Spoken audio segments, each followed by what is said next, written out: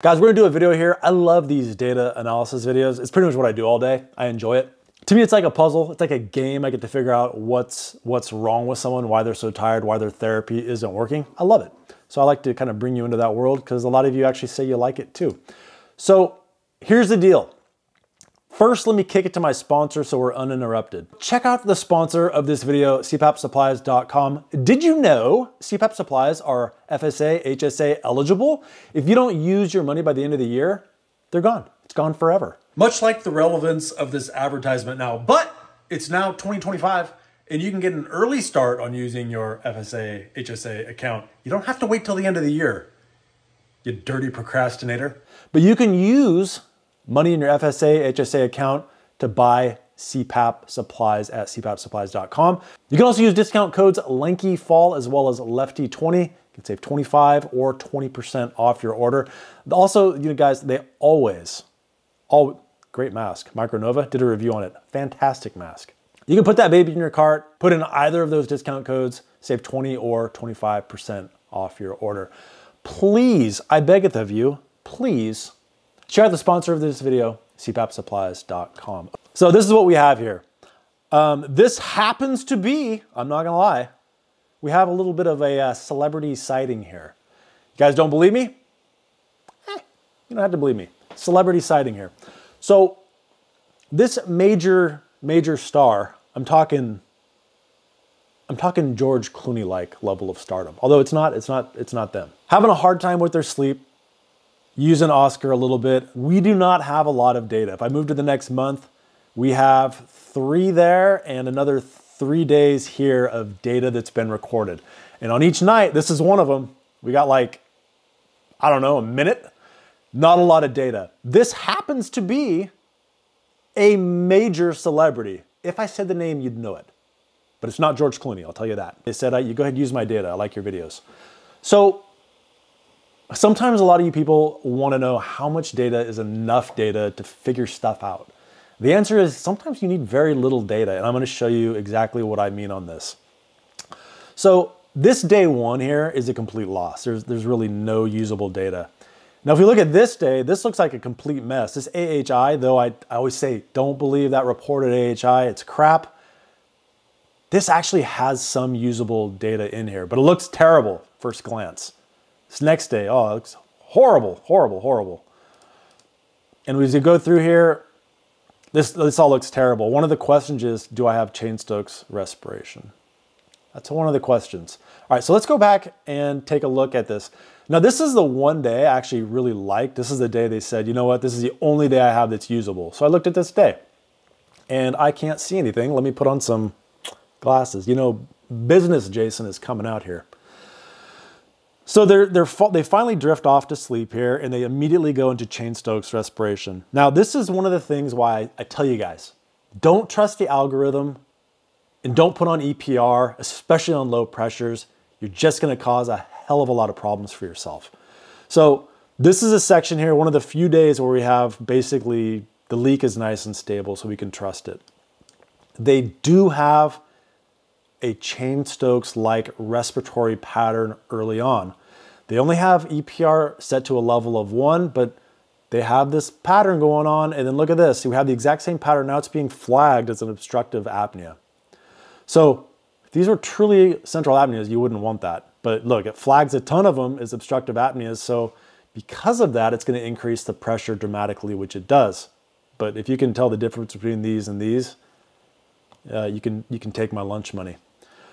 So we progress through and all of a sudden they wake up, they say, screw this for a time, and then they come back to it and we're gonna go through a very similar cycle.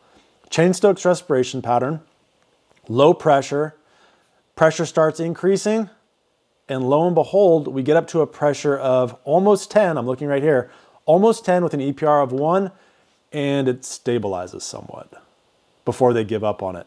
Now they did fall asleep in this segment. Look at this right here. This section here, breathing is mostly stable, but this baseline, inhale, exhale, it's not coming up to baseline. This is palatal prolapse, so the soft palate is moving forward, blocking the exhalation coming out of the nose. So a You can feel it if you do that. If you force that to happen, you can feel it. Um, actually, this is, happens to be something I suffer from, so I'm, I'm quite familiar with it. But this person has that. We also have flattening on the tops of all these waves. So I can tell you for sure, one, once they stabilize their breathing, everything evens out. So their body is compensating for this crappy pressure. The pressure is increasing, that's throwing them off. The EPR is throwing them off. Once it stabilizes here and they're at a semi-high pressure, it stops, it goes away, they stabilize, but they're still not on enough pressure, and so they take it off and they're done for the night. That's all I thought I had. So what I told them to do is one, kill the EPR, go with a straight static pressure of nine, because we don't go too high, and go to 10 and then possibly even 11. Try those things. They have to get leak under control because in these previous nights where I thought there was nothing, there's nothing there. But this one, look, the leak is all over the place. This is totally unusable, but we do have a little section right here where the leak is stable. If we go up here, we can look at, get a little clue here. What's going on? Now see, they're at a higher pressure now than they were just the, the previous night we looked at. They're at basically 10 with an EPR of one. It has stabilized. But look at this. There's flattening on the tops of all of these waves with an awakening. We have flattening, flattening throughout. This is all obstructive. These are all obstructive events, every single one of these, but they've finally gotten past that point of having that sleep onset Cheyne-Stokes respiration or sleep onset central apnea as their leak is stabilized. And I can tell for 100% sure they're having sleep disordered breathing because of a collapsed airway, as well as palate prolapse. And it's occurring on uh, some of these as well. We also, like you can see these, these markers are snoring on exhalation. So really what appears to be a holy crap, this is not a good situation, maybe isn't so bad. Another spot here of no leak on the next night. So look at this, we're getting very, we're getting very valuable information from very short periods of time. This is a 20 minute segment, and I can tell you that these are all obstructive events. Again, palate prolapse, pressure just needs to go up, and it needs to be on a stable pressure because guess what? This pressure is dropping like a rock, doing nobody any good and they're just gonna wake up, take the mask off for a period of time. Hopefully you guys found that of interest. If you did, please do me a favor, share the video, subscribe to the channel if you haven't already. I'd like to say thank you to all the Patreon supporters, my YouTube members. And if none of this makes sense to you and you wanna have a PAP therapy analysis with me, check out my website, axgsleepdiagnostics.com. You can have a one-on-one -on -one PAP therapy. Why don't you go ahead and hop in your time machine that you got for Christmas go back before Christmas and then play this message. It'll make a lot more sense. I wanna wish you guys all a very Merry Christmas, Happy Holidays, whatever the hell you celebrate. And one last thank you to the mega celebrity that let me use this data. Thank you so much for watching. Good night. Clean your stinky mask with some Mask Bright available at Amazon. And time for an extra thick Thanks, buddy, to my top level supporters Doug Toombs, Doug Toombs, Jason Georgiades, Patricia Espelong, Patricia Stuart Hetherington, Alan Liu, Edward Steiner, and I'd like to say thank you also to these people, as well as those other people. Up the ante, you get a shout out. Thanks for watching. Bye bye. Barely even on screen, but still appreciate the support.